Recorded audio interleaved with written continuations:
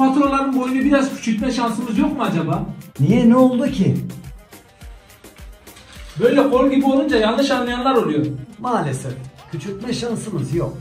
Niye yok? Küçük bir kağıda yazıp verelim elektrik borçlarını. Sayaç okuma bedeli, dağıtım bedeli, elektrik ve tüketim vergisi, kaçak kullanım bedeli, esaretin bedeli. Esaretin bedeli filmde mi lan? Emrullah Sülmen'in şarkısı bedeli de söyleyecek mi acaba? Nasıl lan o şarkı? Nedene kader, ödedi bedel. Bedel varsa kesin söyler. Enerji fonu, KDV bu kadar şeyi nasıl sığdıracağız küçücük kağıda?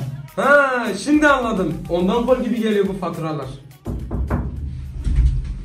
1250 liralık elektrik faturası geldi de bunu nasıl hapis cezasına çevirebilirim? Sayaç okuma bedeli ödememek için kendi sayacımı kendim getirdim de bunu nerede okutabilirim?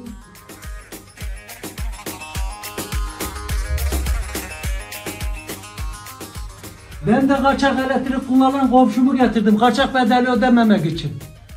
Ulan millet faturayı az ödemek için her yolu deniyor.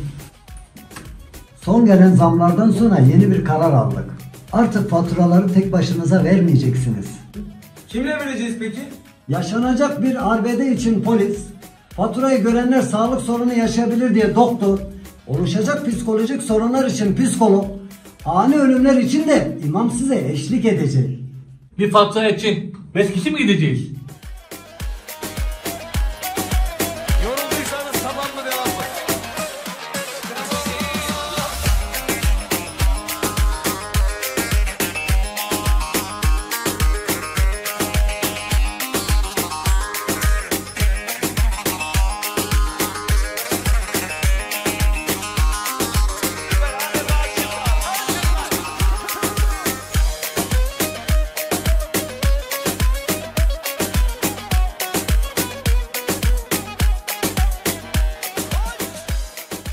Müdürüm dediğiniz her şeyi harfiyen yaptık. Bir faturayı bir psikolog, bir doktor, bir polis, bir imam eşliğinde verdik.